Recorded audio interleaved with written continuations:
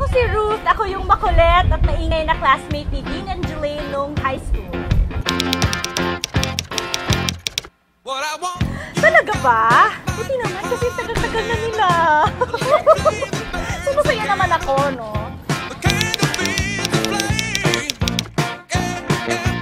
Hindi ako invited, so ganon. Ganon-ganon na lang yun. Ilang, ilang, ilang years na tayo magkaibigan? High school, uh, second year, second year, third year, fourth year.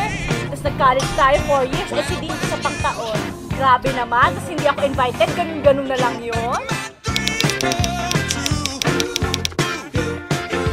hindi kayong mga invited, magdala kayo ng camera ninyo, ha? Tapos agad-agad i-post nyo sa Facebook, tapos magla-like, magla-like ako. Ilalike ko lahat ng yon para ma-sense nila na hindi ako invited. Ah, ako si TJ Martinez. Dean, classmate ko nung high school. Ah, si Jelaine, hindi kami naging magkaklase, pero ah, schoolmate kami since high school. And yun, kaibigan ko sila both. Pinaka-memorable experience ko kasama si Dean, birthday niya, and then nandun ako sa bahay nila. Ang kapitbahay nila na lasing, kinausap ako, tapos hindi ako tinigilan, tapos pinabayaan niya. Eventually, hindi ako nakauwi, so kailangan ko matulog sa sala nila. Ngayon, tapos kumain ako madaming sabaw, gawa ng mami niya. Actually, wala akong pakialam. Kasi hindi ako, hindi mo, ano, hindi naman ako showbiz. So, okay lang. Good for you guys.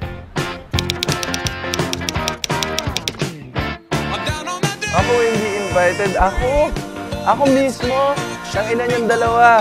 Pagka kinasal ako, huwag din kayo pupunta. Hindi, hindi, hindi. Invite ko kayo. Pagkadating niyo doon, hindi ko kayo papapasukin. How's that sound? Actually, may imbitahan kayo. Huwag na lang kayo pumunta kasi wala ako doon. So, hindi masaya. Hello, ako si Don Joseph Sebastian. Nakatira sa Taytay Rizal. Ah, si Dean, nakaklase ko siya simula first year. Tapos si Jelaine, nakilala ko. Kailan kita nakilala? Hindi ko maalala. Third year ba? Hindi ko alam. Iba yung napakilala sa akin yata ni Dean. Pero hindi ko maalala. Ang naaalala ko lang si Jelaine tsaka si Dean. Unang naging reaction ko, di ako makapaniwala. Tapos naiyak ako para sa kanilang dalawa. Sobrang saya ko nun eh, para sa kanila. Natouch ako dun sa magpapakasal na sila, mahal na mahal nila isa't isa. Tapos, after nun, di talaga ako makapaniwala. Pinagdasal ko kagad yung magiging pamilya nila. Ganun yung ginawa ko.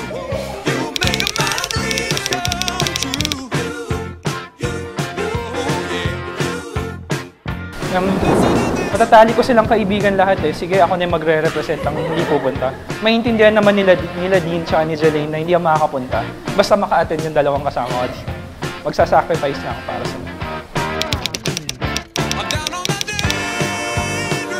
Pwede nila akong ikain, tapos pwede nila akong dalan ng pagkain rin. Maghihintay na lang ako sa labas ng venue. Ayun na lang gagawin ko. Um, hello, ako si Bea. ako klase ko si Dean ng college, tapos nahalala ko si Jelaine through Dean. Yun, kasi napasama ako dun sa grupo nila nung ano, nung, Oo, no, broken ako.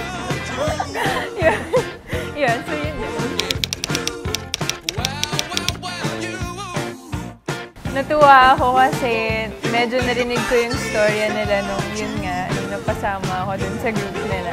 Tapos kinilig naman ako.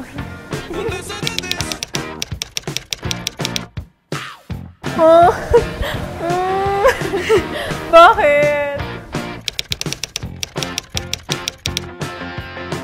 Kasi ano, you know, kakasal na kayo. Tapos ako, mga tao kinakasal na ako, baka ano, baka may mga gwapo dyan. si Don, kasi nag-volunteer na rin naman siya. Hi, ako si Julia, pero tawag nila sa akin Wami or Wami Boy. Si Dean, nung first year ako, akala ko ethnic siya kasi pinuntas yung buhok niya, tapos nakabayong siya na backpack. Pero cool naman pala talaga siya. At saka taga Manila pala siya.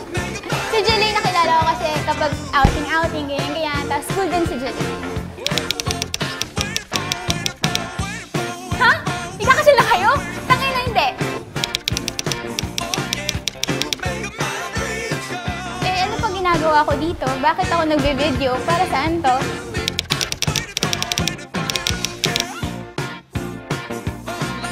Dean, may utang ka sa akin.